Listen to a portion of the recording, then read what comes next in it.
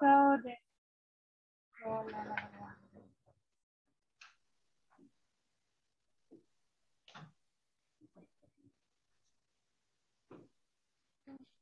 Okej, så hej och välkommen Korsholms gymnasium till er virtuell visit av CMS-detektorn här på CERN.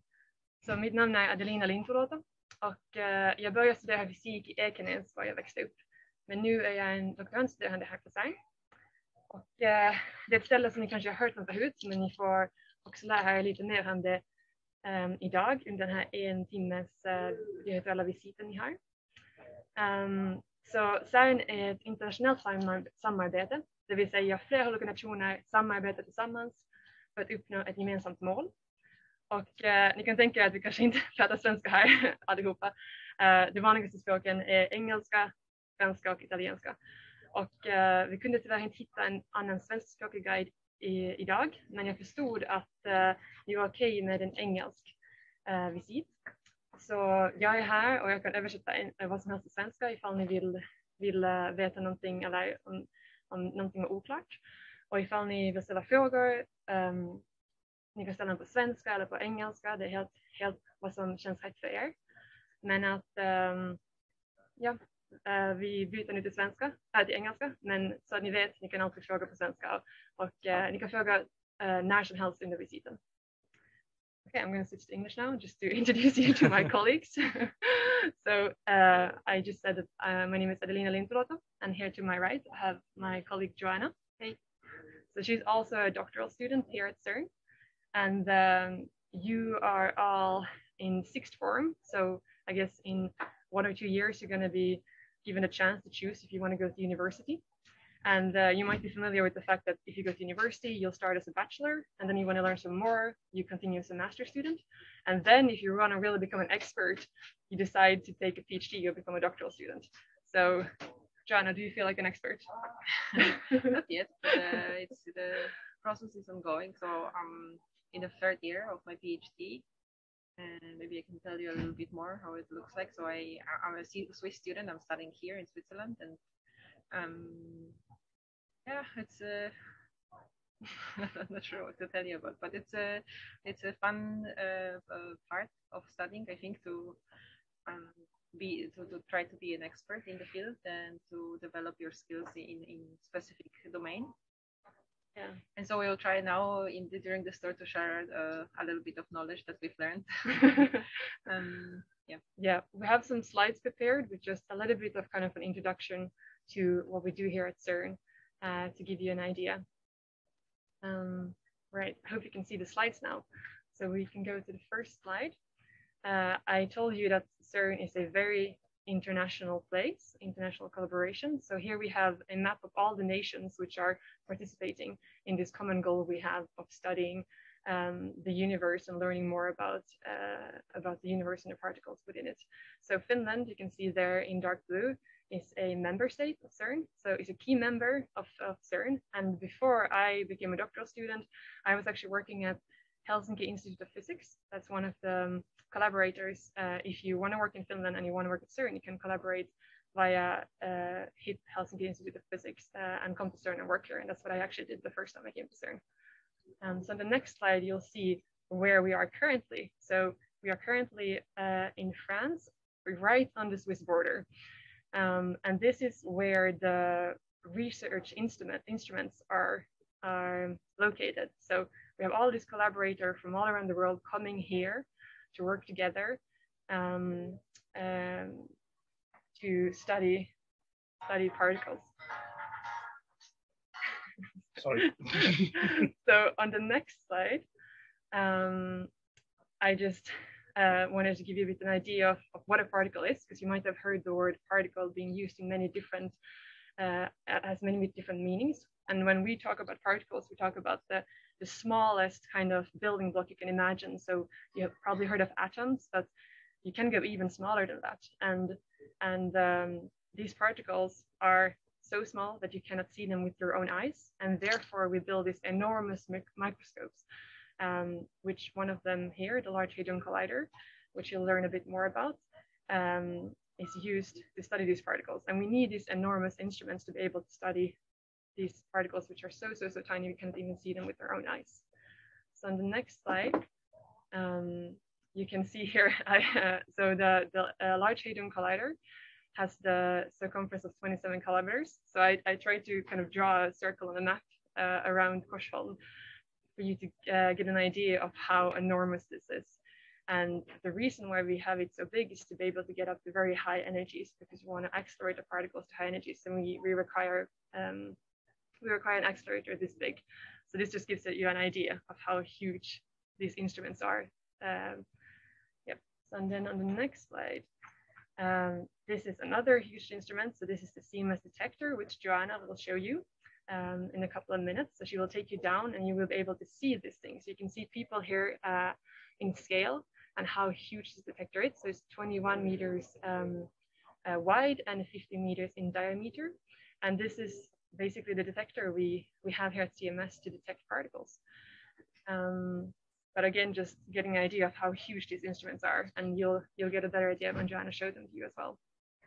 On the next slide, uh, I just have a bit a picture of the complex.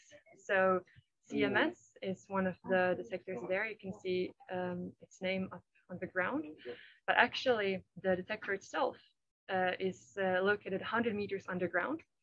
And the LHC is this 27 kilometer particle accelerator, which I which I showed you uh, kind of the size of compared to Korsholm.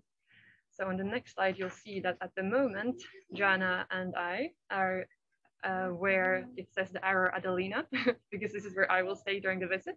But Joanna will go down 100 meters underground to the actual detector to show you the detector. Okay, and then on the next slide, um, just to give you, uh, again, a quick idea about the particles. So you, I'm sure you've all heard about molecules. And one such mo uh, one molecule, for example, is DNA. So you probably have studied in biology. And the DNA is made up of atoms. So every molecule is made up of atoms. And different types of molecules are different combinations of atoms. And on the next slide, you'll see that an atom is just a, a, a core made of protons and neutrons and um, uh, orbited by electrons. And these are probably particles you've heard of. Uh, but if you zoom in even closer on these neutrons and protons, you'll see that there's even more particles. And this is what we're really interested here at CERN. So on the next slide, you'll see kind of a table of all of these elementary particles which we're interested here. So as far as we know, this might not be true.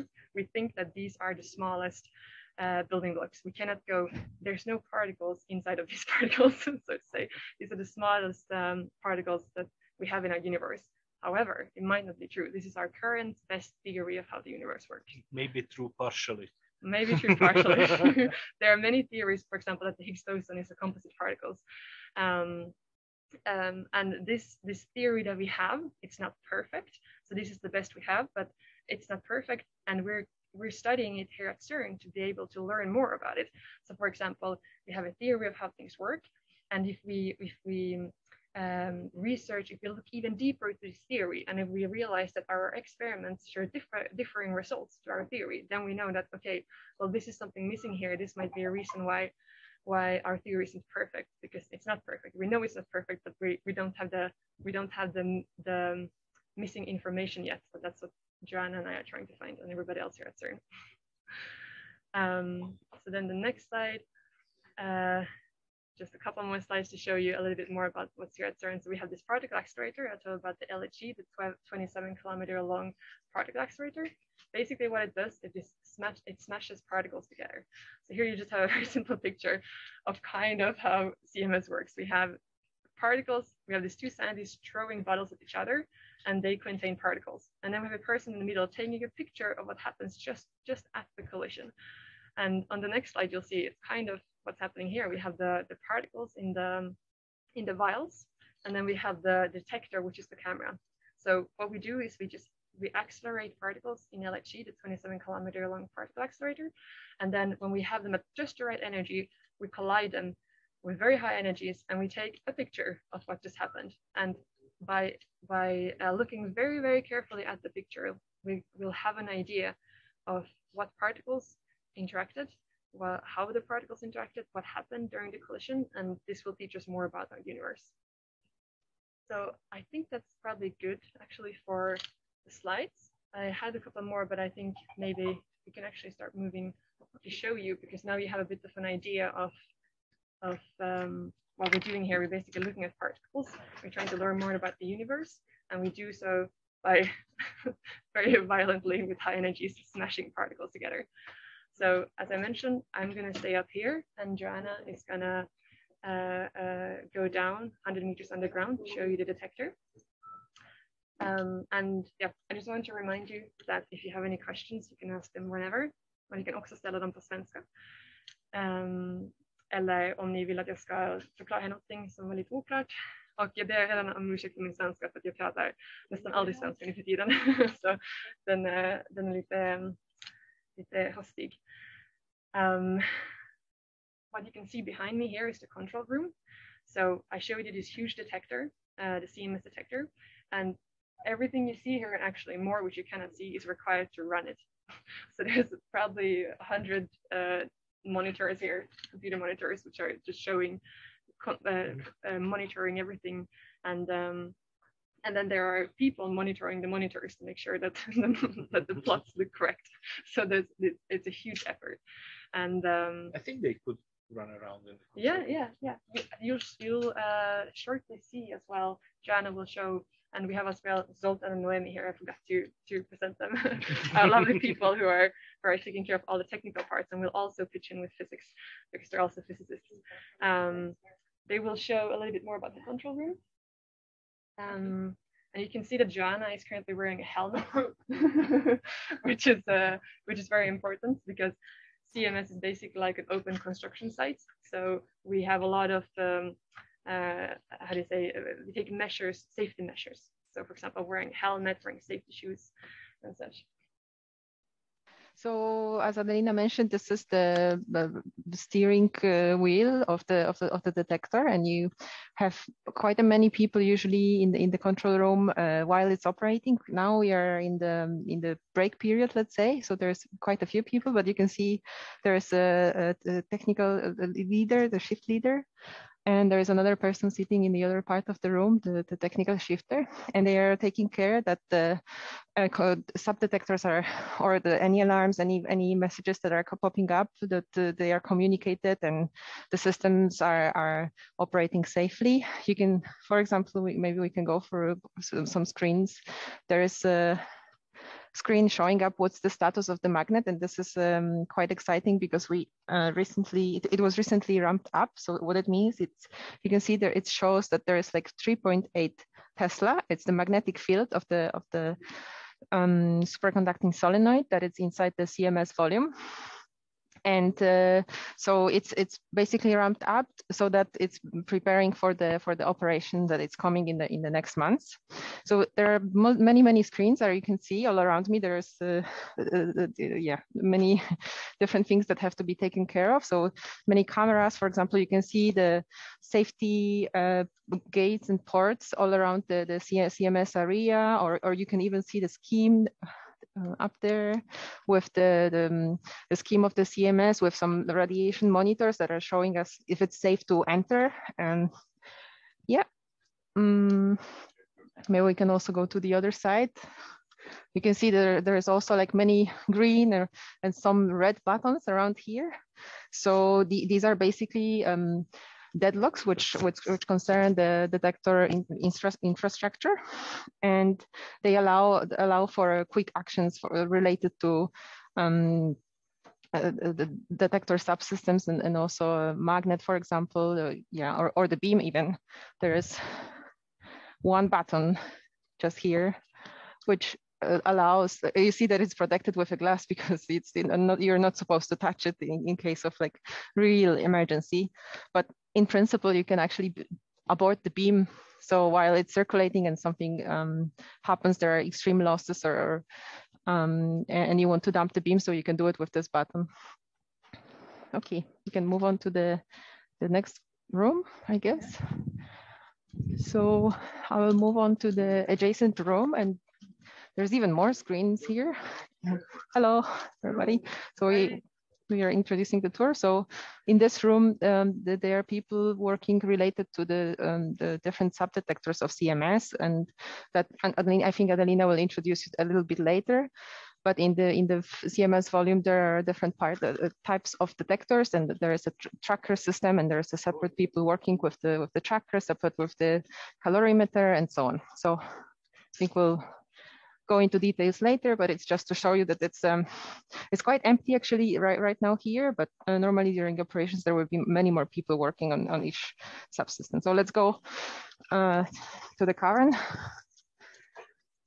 Nice. So um, you will shortly see Joanna passing through a type of door, type of gate for security measures. So I just mentioned that we have a lot of safety measures here at, at CMS, like has a helmet.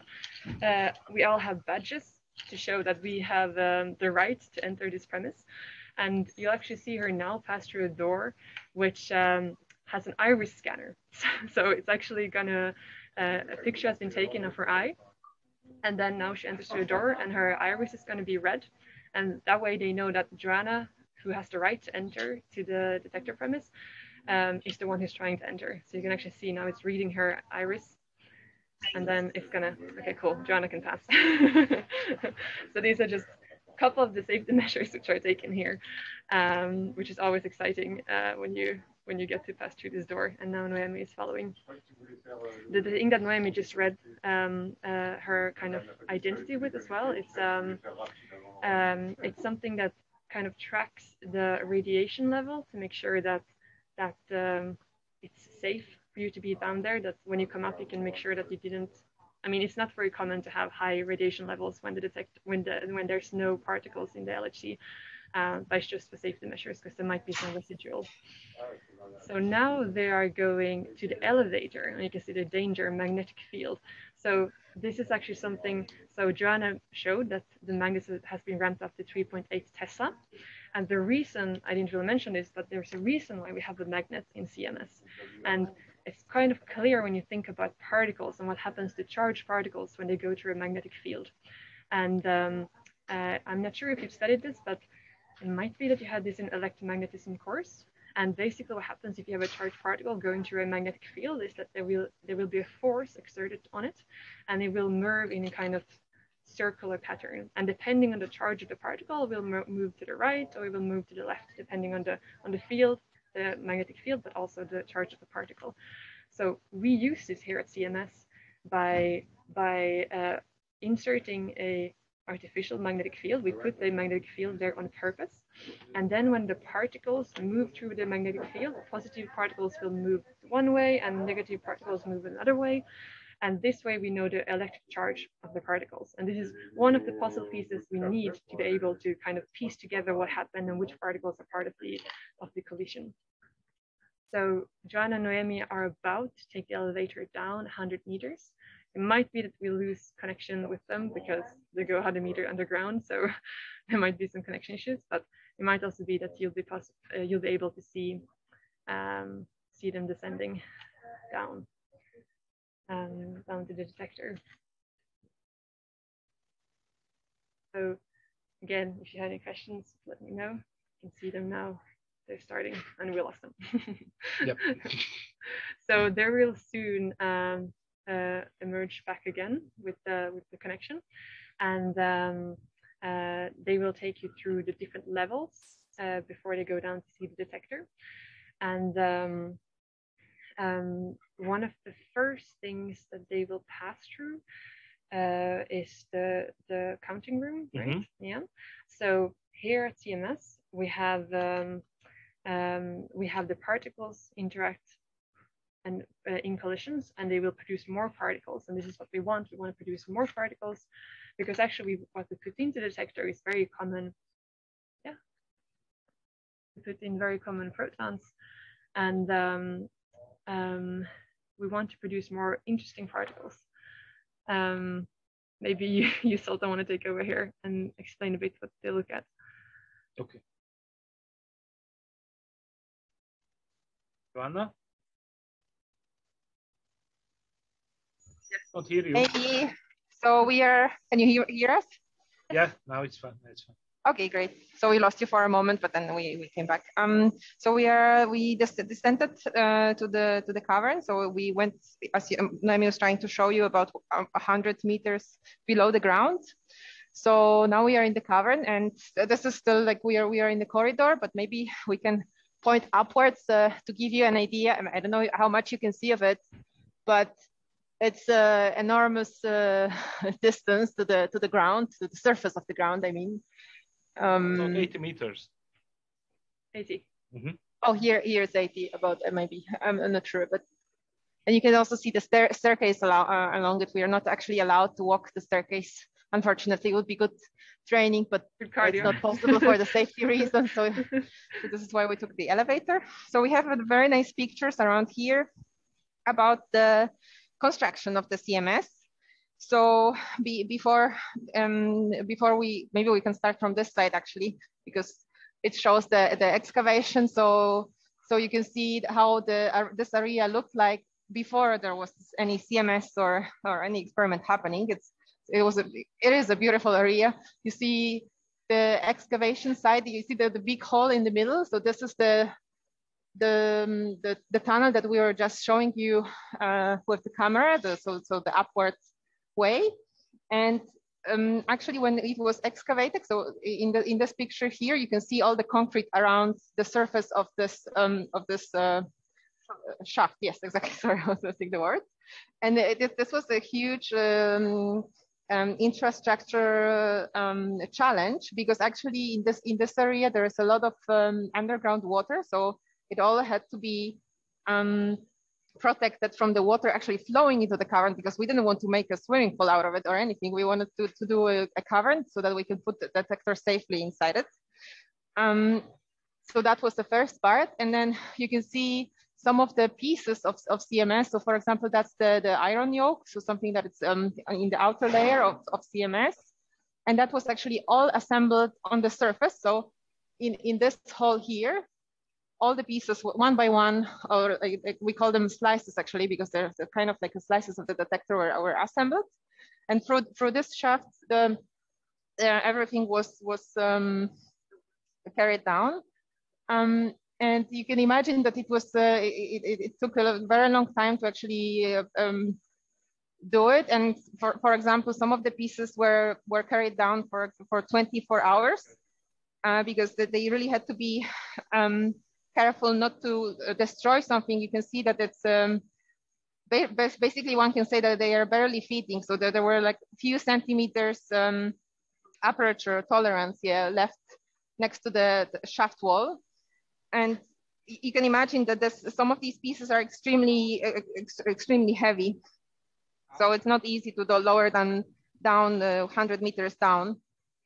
Okay, uh, yep. So maybe we can move on. So we are moving now to the next room. And this is actually a, a cavern, but it's not a main detector cavern. It's the uh, area where all the off detector electronics is placed or any electronical systems, connections, uh, fibers. Um, so that think of it as, as kind of a brain of the of our detector. And you will find here um, many, so for example, I can point here that this is a safety system. So um, there are many uh, programmable, uh, programmable logic units that take care, for example, of the deadlocks to the any power supply. Um, so you, you really have to take, as there, as, as you show in the slices of the detector, there are many different elements. So you really have to, each of these, these the subsystems has each own uh, safety, separate safety systems. Um, apart from that, uh, somehow the, the, the, data has to flow from the from the detector into the into this room first, uh, be processed in the first stage, and then we can take it out, um, and then so that it can be pre uh, processed and later on analyzed um, for the uh, uh, for the particle searches and, and, and, and any like research that it's, it's, it's possible to be done on, on this data. So there's a part that says trigger and Adelina, I don't know if you want to say more about this part. Yeah, sure. So um, when you do a, a, a PhD, you become an expert in a certain part. And uh, for me, what I'm working on right now, I'm not going to say I'm an, an expert of any kind, but what I am I'm working with and studying is actually the CMS trigger system. So um, what Joanna was mentioning about processing this data. So we have the we have the the particles colliding, uh, producing more particles. And most of these particles are quite common particles. They're, they're particles we know a lot of information about. They're, they have lower energy. They're not as interesting for us to look into. So what we do then is that we have something we call a trigger system. But you can just imagine that it's kind of like a way to cut away uh, data which we think is not interesting. So so uh, we have uh, both hardware and software algorithms that basically tell us this was a very high energetic collision. Uh, it contained uh, some interesting high energetic particles. So I think we should save this data and then look at it further um, when we do the analysis. And similarly, it might say, okay, this collision was not so interesting. It contained only these lower energy particles that we know a lot about. I don't think we're going to need to save this information because we will probably not learn so much from it. So this way we just cut away from this massive amount of data that we have that would be impossible to store and and uh, and deal with on our computers uh, to make sure that we only store the information which we think is interesting. I mean, we, we cannot know if it is interesting. We, we only have a set of rules that kind of make us decide, do we want to store this information and, and further process it when we do the data analysis now Joanna is moving away from the counting room and she's going downstairs towards the cavern, the experimental cavern where the detector is. Yeah. So I, can you hear me? Yes. Okay, perfect. So, so we moved a little bit. It's, it's very noisy there, so it's quite hard to actually hear anything. But uh, yes, it's um, uh, now we move on to the uh, connecting part between the two caverns. And normally, actually, if the experiment would be ongoing, we wouldn't be able to, to go any further than, than this part. We'll show you the door when, when it stops, when, it, when we get there. Um, but maybe we can show some of the signs, uh, warnings. So you have different types of, of safety systems here, and you can see the guy that is on, on the picture, the guy that is kind of sleeping. It's, it's not a warning. Time. It's time to take a nap. Yeah, it's, it's not a nap sign or, or a boring sign or something. It's it's actually about the oxygen deficiency um, warning. So if it uh, lights up, it means that you really uh, um, have to uh, move out from this area because it, it could happen that the, the oxygen level is low. Um, Yes, and then there are of course many uh, safety equipment available in the in the drawers that we have around here. So in, in case something like that happen, you could have a, a mask that, that provides you with oxygen. Um, what else? Like we have, for example, radiation uh, warning. So that means that there is some radi radioactive sources inside um, that uh, room. Um, but there are also up there, if you can see, uh, the radiation alarm unit. So if, if there would be any uh, radiation hazard around here where, where we are, that would light up and we would be um, notified. Uh, but of course, it, it doesn't happen much. okay, let's move on Never. a little bit. No, no, yeah, I'm not sure. I wasn't sure actually if ever uh, lit up. Okay, um, yep. So does it look like in the, I'm in the tunnel? It does. okay, great. So I'm not I'm not in the tunnel, but it's just the, the picture to show you how it how the the, the, the LHC machine, the accelerator looks like in uh, in the tunnel. So because we we are not able to enter there, which which I will just just see the experiment that it's placed on this uh, accelerator. Um, but this is how it looks like for this 27 kilometer circumference. So you have a tunnel digged out and, uh, and then you have a huge machine placed inside with the protons circulating around it. Okay.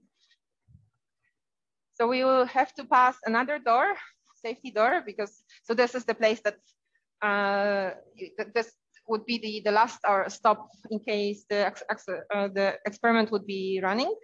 But since it's uh, not yet, so it's um, last weeks, let's say, of the of the running of the of the stop uh, that we can enter actually. So you're lucky, but I can show you something. So as you can see already here, we are still seven meters uh, concrete, uh, there is still seven meters of concrete wall between us and the cavern, but we can always see something strange happening. So we, show, we showed you before that the magnet is on, uh, and then that it has uh, this magnetic field of 3.8 Tesla, which is its um, nominal um, uh, nom nominal magnetic field, so the one that we are operating with. And you can see that we can already feel this magnetic field. So actually the clips that I have in my hand, and uh, they align with the um, direction of the magnetic field that it's inside the cavern. So this uh, far away from us. Just as a cross check, if you could move two meters away from the, the wall, just to show the audience that uh, it is really not glued together. ah, yes. okay. So yeah, I'm moving fine. away and then you can see what happens. There's, yeah. They are not glued. we are not cheating. so, that's a good point, right? Yeah, I could actually yeah, could just glue them. okay, but we will see what, yeah, what happens where, where we enter.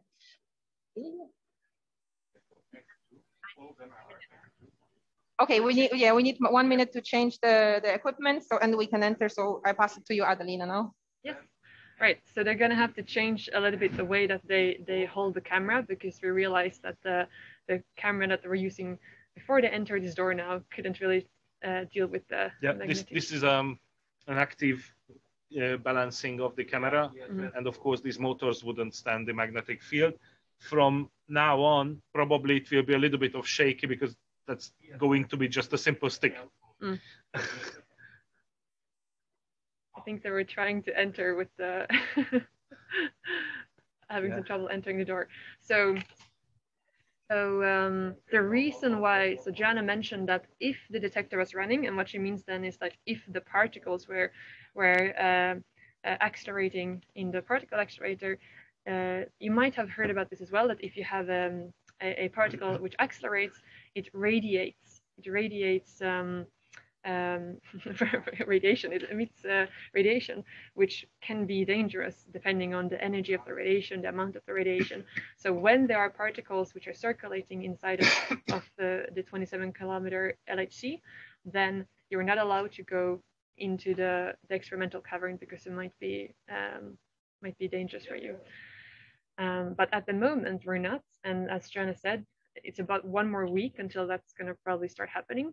And what's been happening now for the last two years is that we've had the had a shutdown. Well, last year we had a circulating beam, mm, yeah. just just in order to check that the accelerator runs. Yeah.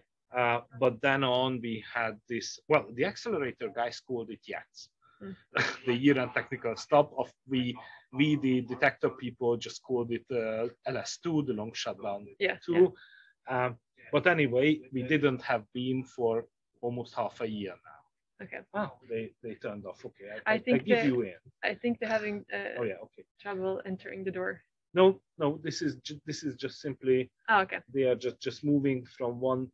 Got it. Okay, good. Uh, setup to the other, but uh, but now I think they are going to be ready. Yeah. Joanna, are you ready? Uh, I'm Noemi. Sorry. Oh, sorry. we have some we have some access issue uh, with Joanna. Um, she will she she go up to to solve this issue. Um, and in the meantime, I go in, but I have to change the the equipment. So still okay. one minute, please. Yeah, no worries. Okay. No worries. Let me just check her at the same time. Yeah. So so um, the reason why we didn't have particles accelerating in a beam is because we had a uh, we'd had some maintenance of the detectors and, and the accelerator. So we had kind of a shutdown where we weren't collecting any more data. And at the, at the time, we took the opportunity to upgrade the detectors. So we made them better to make sure that, that um, uh, we had a better chance of discovering something new, of learning something new about the universe. And um, in about a week, we're going to start commissioning for a new run. So for for a new oh, um, time of collecting data. Sorry, I, I put you on. that, that's much better. so it's very exciting times here because we're preparing to start collecting data again, um, which is exciting for everybody because that's kind of a big thing what we do here at CERN, right? It's not the only thing. I think a lot of people, when they know about CERN, they know about the particle accelerator and they know about um, uh, colliding particles and trying to learn more about the universe. But we have, I think, to be honest, I don't know how many people working here, but it's I think it's around like 10,000 people just like on site. But there's much, much, much more people which are collaborating from their own nation, from their own university. Um, and you can imagine that, um, that with these many people, um, there's a lot of things you can do. So more than just having particles uh, collide and learning about that, there's a lot of innovation happening here within computer science, um, within IT, uh, within medical um, physics. So some of the things which we use here to to detect particles are then later used within the within the medical field. Um, uh, but from my perspective, since I work with with um, uh, with computing, I know that there's a lot of open software which is created here at CERN and then shared with the world. Um, we um, another thing that you might have heard about is that the World Wide Web, so kind of the internet, um, started here at CERN as a way to share data between scientists at CERN. And then that idea was then later um, kind of um, um later improved or uh, uh, worked on to become the internet that we have today. But it's kind of started here at CERN as a way to share information because if you think on it, the internet is a way to share information with everybody uh, around the world. So started here as a way to share information between scientists. Um, that's just one, one example, but there's many, many examples about all the innovation that happens here at CERN. Um, okay. Noemi is trying to enter into the detector. Oh yeah, she's. Does she? I think she's. Still yeah. have. Yeah. We can okay. we can switch to her screen. So now At Noemi. least I add the spotlight.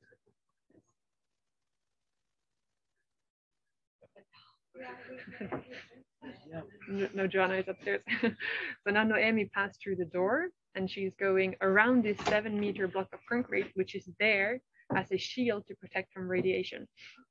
Um, so uh, the seven meter block of concrete is is, um, is the specific size because we know that that's the amount of concrete we need to stop the most highly energetic, most the, the particle which can penetrate to almost anything, but it cannot penetrate to this seven meter uh, block of concrete. So now Noemi is walking around here and she's um, uh, about to enter into the experimental cavern. This yellow door will lead to the detector. And now she's inside of the experimental cavern. So this place is off limits if there are particles accelerating in the LHC. Nice. Okay, Joanna is on the way back. Okay, Joanna is on the way back. Uh, so meanwhile, uh, Noemi is showing here the detector, and I had Noemi on the yeah on the watch. Yeah, and um, so Joanna mentioned that the detector is kind of made in slices, um, and at the moment the detector, at least the part you can see. That what happens, Noemi? I, am sorry, I, I have issue with the with the other holder. So oh yeah, the mount. It's, yeah, uh, yeah, it flips uh, out the, from the mount. Yes, yes. I'm sorry for uh, for that. Oh, no so so what we see now right now is this detector, and is it sort is it completely put together, like all sides? Yep. Now it is completely closed, as you might see not only put together, but the, the HF, the screen structure in the middle, is also in place, and the shielding around the beam pipes are also closed. So we are in, in principle, we are ready to run. Hmm. Completely ready to run. So it's a bit hard to get the idea of how massive the detector is, I have to say here, uh, because at the moment, Noemi is standing up um, kind of in the middle of the detector. So, so uh, we mentioned that it's um, uh, 15 meters in diameter. So from the floor to the highest point it's 15 meters. And it's a bit hard to see on the on the camera but but it's absolutely it's enormous. a four-story building. Yeah it's a four-story building. It's absolutely enormous. Um and uh yeah. And um um so. Oops okay. Probably it is better if you hold it in hand. Yes i do i do i do i do sorry about it. Uh, this is the first time this year we, we do it with with this mount. Yeah. Um, I'm just opening the Amazon and, and order another mount. sorry. yeah. So the, so the detector is is we so uh, Zoltan mentioned the beam pipe and and Joanna also mentioned beam a couple of times and I kind of forgot to mention that we refer to the beam um, as this particle which are accelerating around the LHC. So you can see here in in orange in the center we have a, a beam pipe and this is kind of um, a protective uh, layer around the beam pipe so we cannot see the actual pipe at the moment but that's that's inside of that. And if the beam pipe leads into the center of the detector where the collision will happen. So um, uh, so the collision happens in the center of the detector, and then the detector encompasses the full um, uh, geometrical space around the collision point. And so basically, you can imagine that the, the, the collision will happen in the middle, and all around it is a, is a detector part, which is there to detect the particles. And we do this trying to uh, not miss a single particles, because if we if um, we were unable to detect some particles from the collision, then that gives us incomplete information, and that will then lead to false assumptions about what happened during the collision. So therefore, we have this like fully um, enclosed um, collision point. And Joanna mentioned different subdetectors or subsystems. So I've been referring to the detector as this, this huge CMS detector, this, this, this uh, 50 meter diameter, 21 meter wide thing that you see in front of you.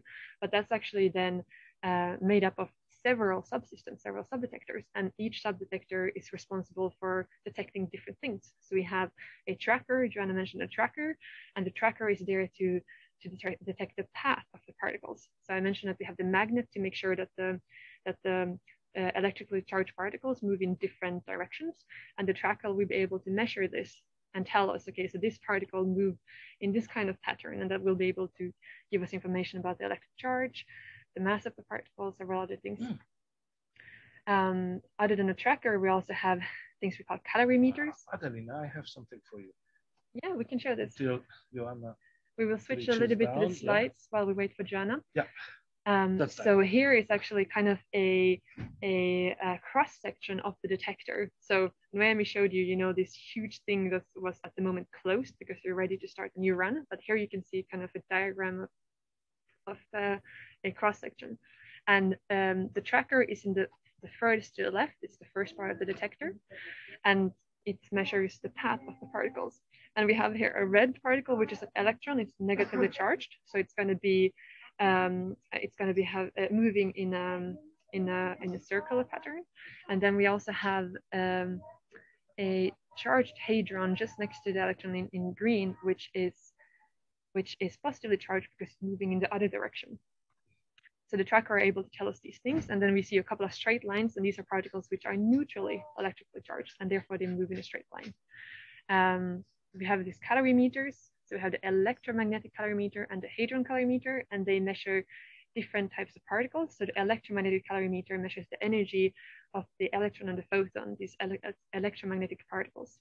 And then we have the hadron calorimeter, which again measures the energy. So this calorimeter kind of refers to it's measuring the energy of the particle, but it measures that of hadrons.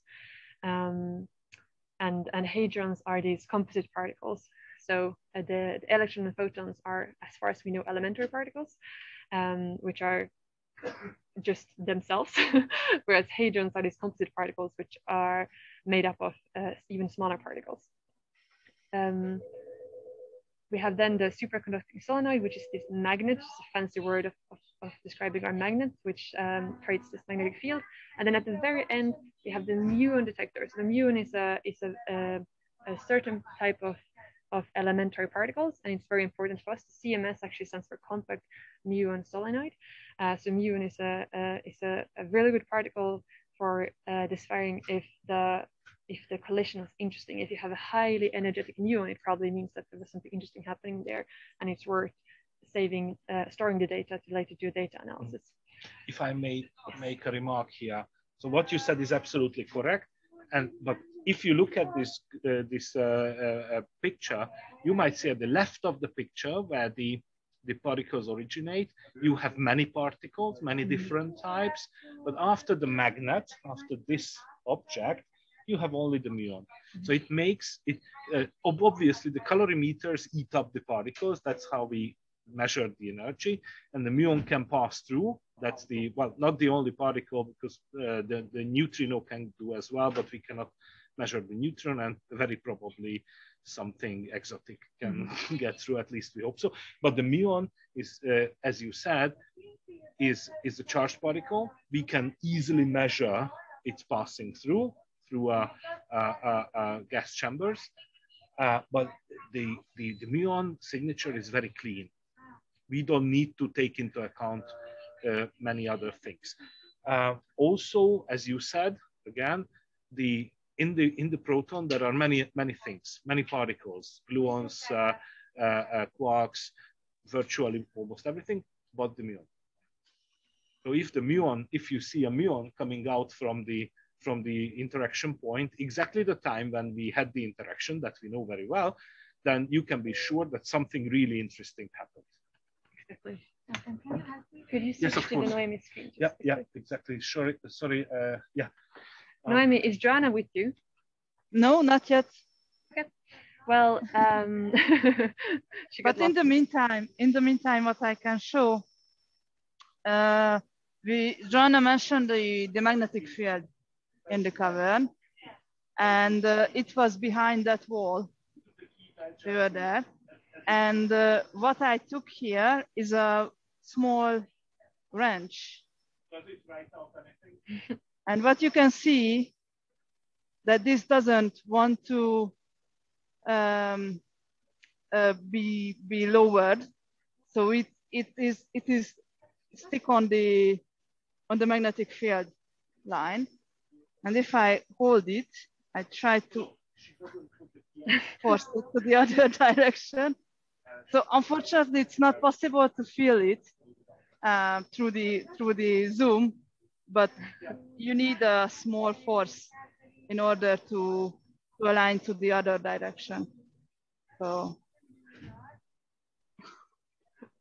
that's really cool because their magnetic field is there, before Noemi and Joanna went in the cavern, they were told to don't don't bring your phones or credit cards or anything that might be affected by the electric uh, by, by the magnetic field, because you can see it's strong enough to move that wrench.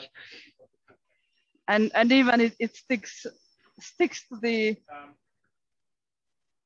to the iron. Okay. Okay, it's not strong enough, but here it's fine Still okay. so if you if you forget your tool, you just put it here and then it will stay until the magnet is on. So we have a slight issue. For some reason, the door doesn't let you Anna in. Okay. I rush down. I let her in with the with my magic key. Okay. And then cool. and then we will see. Okay. Sorry. Uh, I let you to. Yeah, yeah.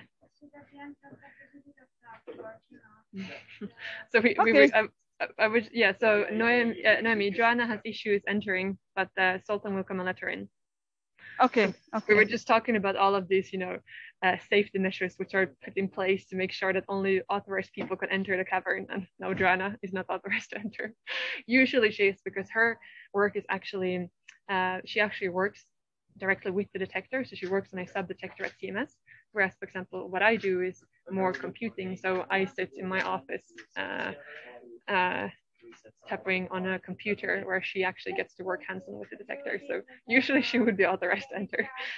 Um, but uh, in the meantime, what I can do, I just go there yeah, to make cool. a different view. Yeah, that will probably give you a better idea of how big the detector is actually. Yeah, and it is uh, not so far.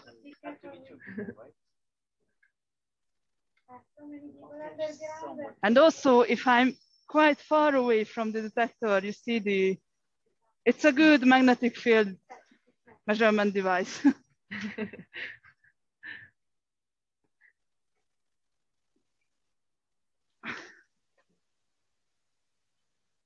Okay.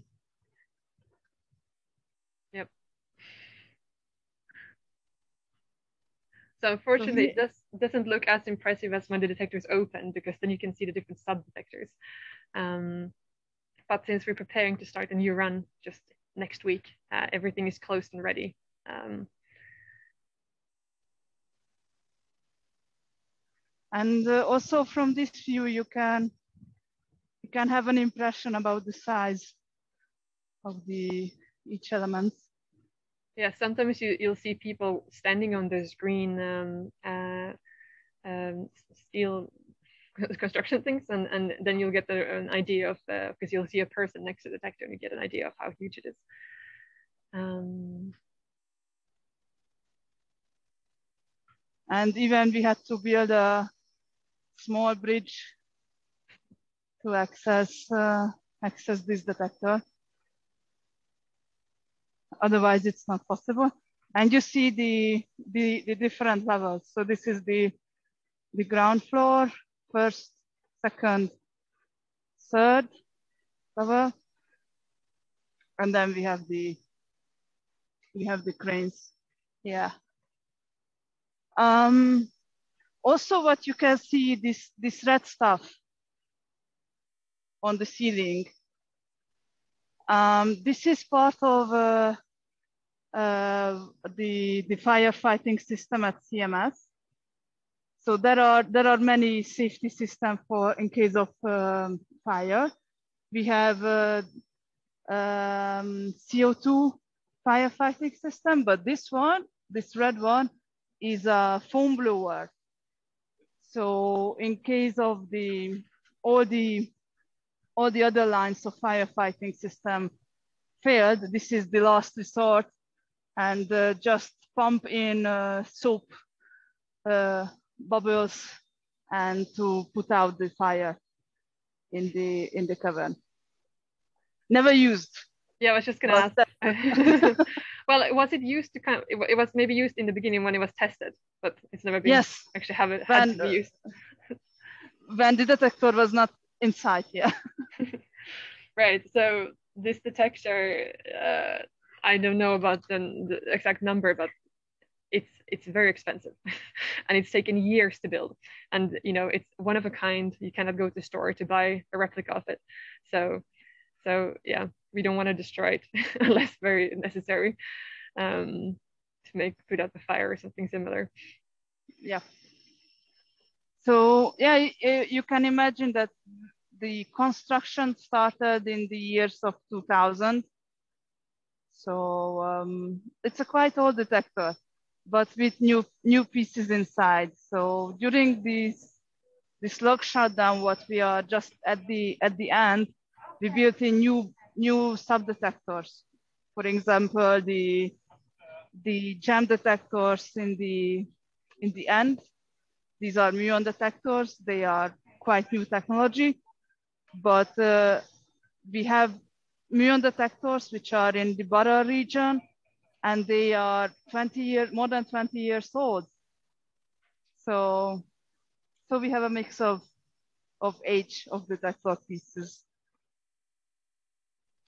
And the amount of people throughout the year who has worked on this detector is enormous as well. There's a lot of people coming and going and, and expertise from different universities, different nations, different people. Um, for example, me and Joanna work on very different parts of the detector. Um, She's coming that. Actually, there you see the size of Joanna next to the detector. You kind of got an idea of how huge it was. like how tiny she just looked next to it. and also you see her kind of crouching under a pipe there. Like the helmet is good because there's a lot of parts that you might hit your head against. ah, uh, yeah. So I give the, the headphone to, to Joanna.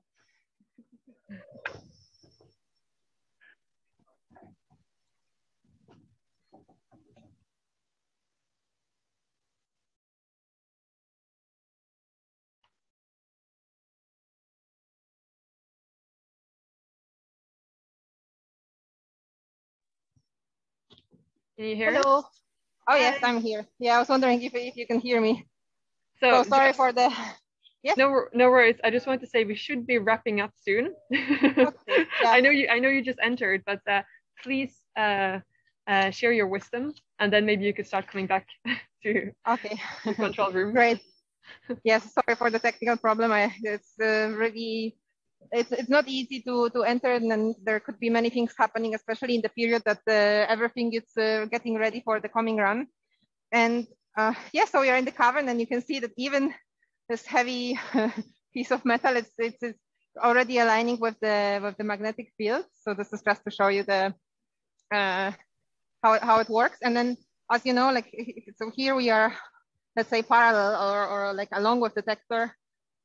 So the point is that in the same in a similar way, inside the, the detector volume, inside the coil of the of the of the magnet, we want to have a uniform film field so that magnetic field so that in, in, when there is any charged particle coming through, uh, we can recognize what charge it has because of course, you remember, I think you had the electromagnetic classes so that it, depending on its charge, it would have different direction. Um, um, either, yeah, if, if it's a positive or a negative charge.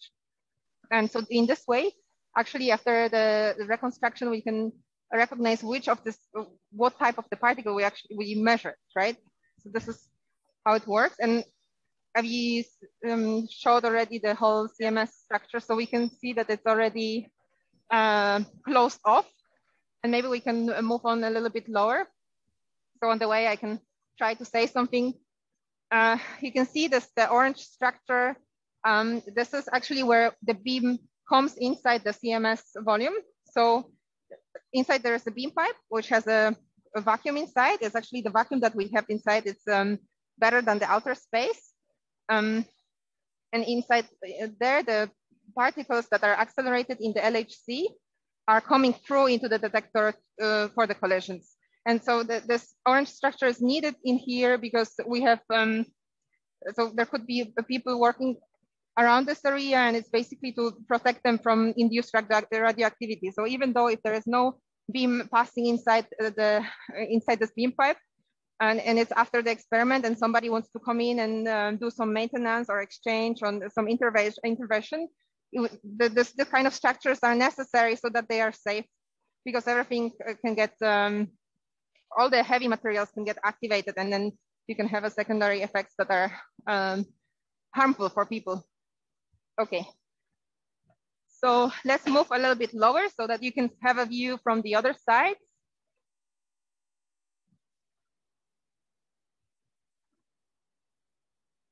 So I hope me walking in, in front of the CMS uh, can give you an idea also how big it is. So Adelina mentioned that in the diameter, um, it has uh, 15 meters.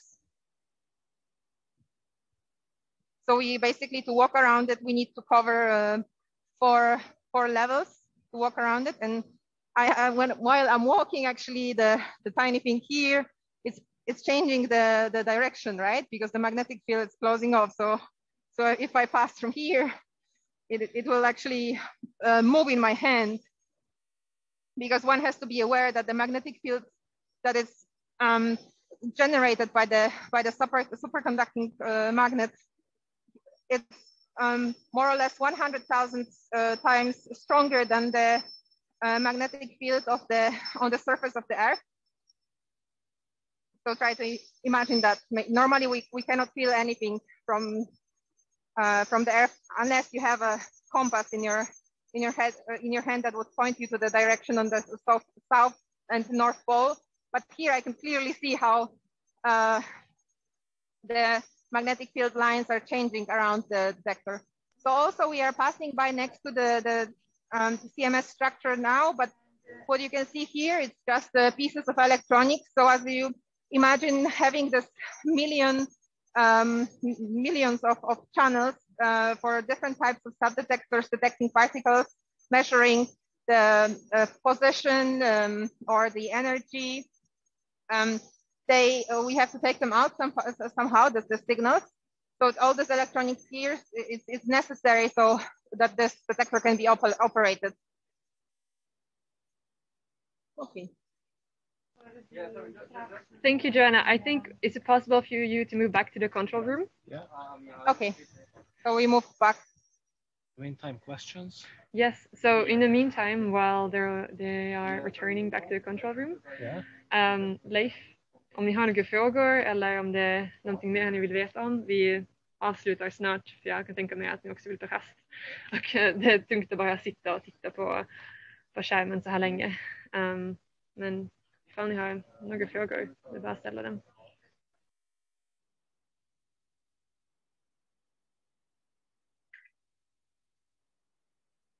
jag vet inte, uh, brukar Korsholmen komma på besök till Cern vanligtvis? Jag vet att nu under pandemin så har det ju varit svårt att komma hit men att vanligtvis kanske ni skulle ha besökt Cern själva. Jo, vi brukar ha alltså vad, det här ABIN, alltså årskurs 3. Mm. Så brukar göra alltså ett besök på Cern. Okej. Okay.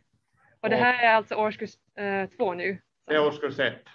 Årskurs ett, okej, okay. så det ja. kanske finns möjlighet att besöka CERN då? Ja, att de här kan ju räkna med liksom att de har en chans att komma med till CERN. Oh, Okej. Okay. No. om, ifall det förhoppningsvis kanske det äh, lite intresse för att besöka här. Det, det, det är ju mycket coolare att, att se det själv i, äh, med egna ögon. Men den coola grejen med den här virtuella visiten är att eftersom det är virtuellt så kan vi visa delar av detektorn som vanligtvis ni inte har möjlighet att se. Så för till exempel om ni själva kom hit så skulle ni bara kunna se detektorn från en synvinkel men nu så tog Naomi och uh, Joanna upp där så ni kunde se det från en, från en annan synvinkel. Um, och också när ni kom, om ni ska med design på årskurs 3 så finns det mycket mer än att, att, att uh, se och lära. Uh, vi har ju flera andra experiment här, så jag jobbar med CMS, vi alla här jobbar med CMS, men det finns ett annat stort experiment som kallas Atlas, som är väldigt lik CMS. Egentligen så gör den exakt samma sak som CMS, men anledningen varför vi har två stora, väldigt dyra detektorer här som gör samma sak är för att vi behöver dem för att, um, för att um, validera uh, resultatet från den andra detektorn. Så om CNS, CMS upptäcker någonting uh, som Noemi uh, uh, nämnde, det tog 20 år att bygga CMS och jag vet inte hur mycket, men miljontals miljontals år att bygga CMS. Så låt oss säga att CMS upptäcker någonting um, för att validera upptäckten inom vetenskapen så behövs allting valideras.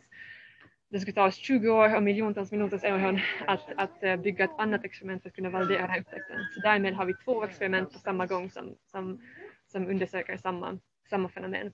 Och vi har också andra experiment, mindre experiment. Vi har två, två här på LHC som, som heter Alice och LHCB och de tittar på väldigt specifik fysik. Här på CMS och Atlas så kollar vi gen, äh, generellt till vad som helst som är nytt. Så vad som helst som går att upptäcka. um, uh, vilka nya partiklar, vilka nya fenomen som helst. Men sen finns det med mindre experimenten som Alice och LHCB som fokuserar på väldigt, väldigt specifik fysik. Som vi, vet, vi, vi vet med väldigt stor sannolikhet att det är någonting intressant där. Och därmed byggde vi de här experimenten, de här mindre experimenten för att titta ännu noggrannare in, in, in till um, vad som sker där. Uh, och om ni kommer till design så får ni upptäcka allt det här. Um, kan bli någonting annat. Um, Ja, det dök upp en sån fråga, alltså den här, vad ska man ha för utbildning och examen för att jobba på CERN? Det är en bra fråga. Um, på CERN finns det väldigt, väldigt, väldigt många, många olika människor med olika bakgrunder. Och uh, både jag och Joanna har studerat fysik um, på, på kandidat och magisternivå. Jag studerar faktiskt fysik på Helsingfors universitet och det är där som jag kom i kontakt med det här HIP Helsinki Institute of Physics uh, och fick ett sommarjobb på CERN och därmed uh, um, uh, kom, slutade jag med, hände det att jag fick en, en doktorandplats här också.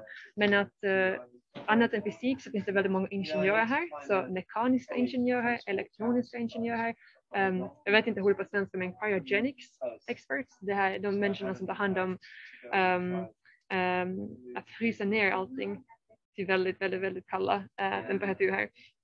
Uh, det finns också många, många um, uh, personer som jobbar inom IT um, ehm, för att allt som, um, allt som görs här krävs väldigt mycket IT-kunskaper. Um, i, I mitt fall så studerade jag faktiskt fysik men jag tog också ett uh, examen i, i datavetenskap på samma gång. Um, jag måste säga att vi behöver så mycket olika, ehm, så mycket olika ehm, kunskaper att du kan studera nästan vad som helst och hamna här på CERN. Ehm, men det vanligaste om du vill jobba med fysiken på CERN så är fysik, men där finns det också experimentell fysik, det finns teoretisk fysik. Um, eller så kan du eh, studera ingenjörvetenskap eller så kan du studera eh, uh, IT. Um, ja. Yes, ja, tack ska du ha. Har ni några mera frågor? Vi måste småningom börja avrunda här nu för att de har det här på gång snart nästa lektion. Ja, jag kan tänka mig. Jag ser att rasten är faktiskt pågående redan. Um, yeah, uh, I think John. Uh, det, det är back on surface. Ja, det kommer just tillbaka här. Um, så avslutar vi inom, inom en minut tror jag. Yeah. Ehm, um, vi kan se uh, arbetare, flera som jobbar här. Um, ifall ni är intresserade att jobba på CERN så när man gör en kandidat um, så finns det möjlighet att komma för tre månader till CERN. Det finns flera olika program. Och om man gör en, en magisterexamen um, så kan man faktiskt komma ett år till CERN. Det finns olika sådana um, möjligheter. Om, om man går på CERNs egna hemsida så kan man se vad man kan göra om man är kandidat eller magisterstuderande och också om man är doktorstuderande. Uh, Joanna, can you come back to the control room?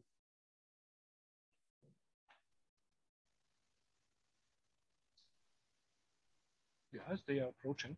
I wasn't sure if they were just standing. yep. Now they enter. Okay, we lost them.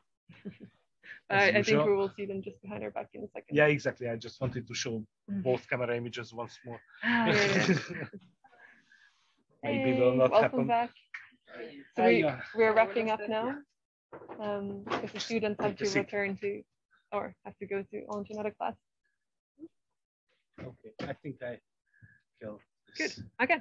So thank you very much for attending this virtual visit, and I hope you found it interesting. And and I just learned so they are uh, first year at at sixth form, and on the uh -huh. third year they have the uh, opportunity to come to CERN. So they might still be uh, coming to CERN so in this will two be years. Post-COVID for sure. Yes, would, well, fingers crossed. um, uh, yeah, so hopefully this sparked some interest and you might want to come here. And if you want to learn more about CERN, CERN has a lot of great resources online. So you can just search on CERN's own website and learn more about it and learn about opportunities for you to come here as well. Um, yeah, and that's it for us. And thank you very much. And you want to say something? Thank you for the for, for joining us here. I hope yeah that the, as soon as the if you can, if Adelina said that you had the opportunity to come here, the, the doors will be open and you, you can have a longer tour uh, visiting all the places. And by, see the detector for yourself. For yourself yeah. yeah. Let's hope so. Perfect. Thank you very much, everybody. Thanks. Thank Have a nice day. Ciao, ciao, ciao. Bye. Hello.